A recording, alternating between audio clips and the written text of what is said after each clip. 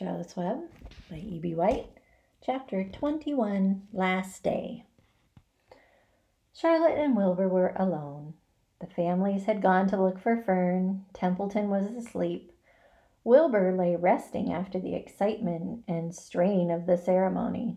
His medal still hung from his neck. By looking out of the corner of his eye, he could see it. Charlotte, said Wilbur after a while, why are you so quiet? I like to sit still, she said. I've always been rather quiet. Yes, but you seem specially so today. Do you feel all right?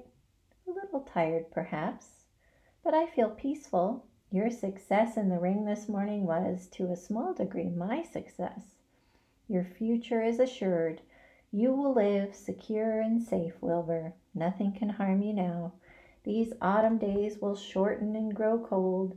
The leaves will shake loose from the trees and fall. Christmas will come. And then the snows of winter. You will live to enjoy the beauty of the frozen world, for you mean a great deal to Zuckerman, and he will not harm you ever. Winter will pass, the days will lengthen, the ice will melt in the pasture pond, the song sparrow will return and sing. The frogs will awake, the warm wind will blow again. All these sights and sounds and smells will be yours to enjoy, Wilbur, this lovely world, these precious days. Charlotte stopped. A moment later, a tear came to Wilbur's eye. Oh, Charlotte, he said, to think that when I first met you, I thought you were cruel and bloodthirsty. When he recovered from his emotion, he spoke again.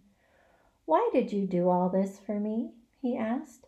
I don't deserve it. I've never done anything for you. You have been my friend, replied Charlotte. That in itself is a tremendous thing. I wove my webs for you because I liked you. After all, what's a life anyway? We're born, we live a little, we die. A spider's life can't help but being something of a mess with all this trapping and eating flies. By helping you, perhaps I was trying to lift up my life a trifle. Heaven knows anyone's life can stand a little of that. Well, said Wilbur, I'm no good at making speeches. I haven't got your gift for words, but you have saved me, Charlotte, and I would gladly give my life for you. I really would.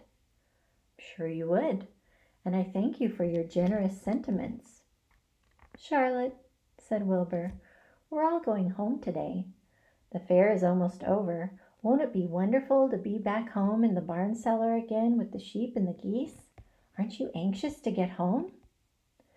For a moment Charlotte said nothing, and then she spoke in a voice so low Wilbur could hardly hear the words. I will not be going back to the barn, she said. Wilbur leapt to his feet. Not going back, he cried. Charlotte, what are you talking about? I'm done for, she replied. In a day or two I'll be dead. I haven't even the strength enough to climb down into the crate. I doubt if I have enough silk in my spinnerets to lower me to the ground. Hearing this, Wilbur threw himself down in an agony of pain and sorrow. Great sobs racked his body. He heaved and grunted with desolation. Charlotte, he moaned. Charlotte, my true friend. Come now, let's not make a scene, said the spider. Be quiet, Wilbur. Stop thrashing about. But I can't stand it, shouted Wilbur. I won't leave you here alone to die. If you're going to stay here, I shall stay too. Don't be ridiculous, said Charlotte. You can't stay here. Zuckerman and Lurvy and John Arable and the others will be back any minute now, and they'll shove you into that crate and away you'll go. Besides, it wouldn't make any sense for you to stay. There would be no one to feed you. The fairgrounds will soon be empty and deserted. Wilbur was in a panic. He raced round and round the pen. Suddenly he had an idea. He thought of the egg sac and the 514 little spiders that would hatch in the spring. If Charlotte herself was unable to go home to the barn, at least he must take her children along. Wilbur rushed to the front of his pen. He put his front feet up on the top board and gazed around. In the distance, he saw the Arables and the Zuckermans approaching. He knew he would have to act quickly. Where's Templeton? he demanded. He's in that corner, under the straw, asleep, said Charlotte. Wilbur rushed over, pushed his strong snout under the rat, and tossed him into the air. Templeton! screamed Wilbur. Pay attention! The rat, surprised out of a sound sleep, looked first dazed and then disgusted. What kind of monkey shine is this? he growled. Can a rat catch a wink of sleep without being rudely popped into the air? Listen to me, cried Wilbur. Charlotte is very ill. She only has a short time to live. She cannot accompany us home because of her condition. Therefore, it is absolutely necessary that I take her egg sac with me. I can't reach it and I can't climb. You are the only one that can get it, and there's not a second to be lost. The people are coming. They'll be here in no time. Please, please, Templeton. Climb up and get the egg sac. The rat yawned. He straightened his whiskers. Then he looked up at the egg sac. So, he said in disgust, so it's old Templeton to the rescue again, is it? Templeton, do this. Templeton, do that. Templeton, please run down to the dump and get me a magazine clipping. Templeton, please lend me a piece of string so I can spin a web. Oh, hurry, said Wilbur. Hurry up, Templeton! But the rat was in no hurry. He began imitating Wilbur's voice. So, it's Hurry up, Templeton, is it? he said. Ho, ho, and what thanks do I ever get for these services, I would like to know. Never a kind word for old Templeton, only abuse and wisecracks and side remarks. Never a kind word for a rat. Templeton, said Wilbur in desperation, if you don't Stop talking and get busy. All will be lost, and I will die of a broken heart. Please climb up. Templeton lay back in the straw. Lazily, he placed his forepaws behind his head and crossed his knees in an attitude of complete relaxation. Die of a broken heart, he mimicked. How touching! My, my, I notice that it's always me you come to when in trouble. But I've never heard of anyone's heart breaking on my account. Oh, no, who cares anything about old Templeton? Get up!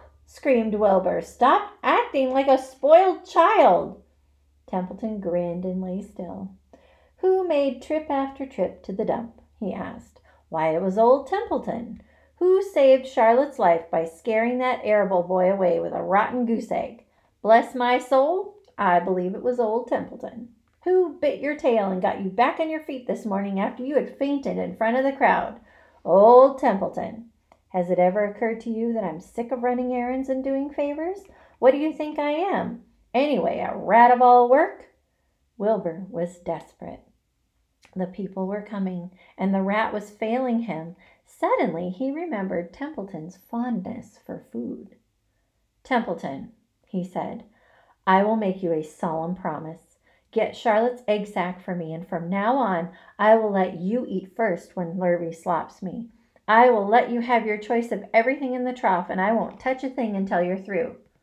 The rat sat up. You mean that? he said. I promise, cross my heart. All right, it's a deal, said the rat. He walked to the wall and started to climb. His stomach was still swollen from last night's gorge.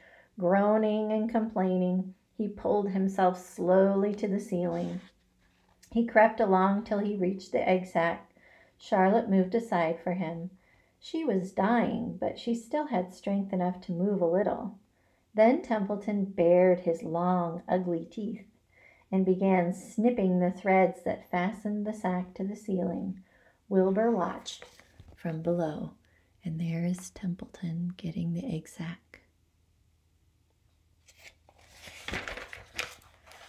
Use extreme care, he said. I don't want a single one of those eggs harmed. This stuff sticks in my mouth, complained the rat. It's worse than caramel candy. But Templeton worked away at the job and managed to cut the sac adrift and carry it to the ground, where he dropped it in front of Wilbur.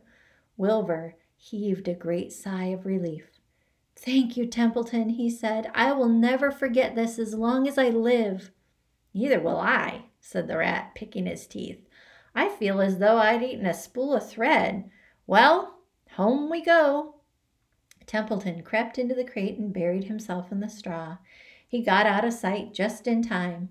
Lurvy and John Arable and Mr. Zuckerman came along at that moment, followed by Mrs. Arable and Mrs. Zuckerman, and Avery and Fern. Wilbur had already decided how he would carry the egg sac. There was only one way possible. He carefully took the little bundle in his mouth and held it there on top of his tongue. He remembered what Charlotte had told him that the sac was waterproof and strong. It felt funny on his tongue and made him drool a bit, and of course he couldn't say anything. But as he was being shoved into the grate, into the crate, he looked up at Charlotte and gave her a wink. She knew he was saying goodbye in the only way he could, and she knew her children were safe. Goodbye, she whispered. Then she summoned all her strength and waved one of her front legs at him. She never moved again. Next day, as the Ferris wheel was being taken apart and the race horses were being loaded into vans and the entertainers were packing up their belongings and driving away in their trailers, Charlotte died. The fairgrounds were soon deserted. The sheds and buildings were empty and forlorn. The infield was littered with bottles and trash. Nobody of the hundreds of people that had visited the fair knew that a gray spider had played the most important part of all, and no one was with her when she died.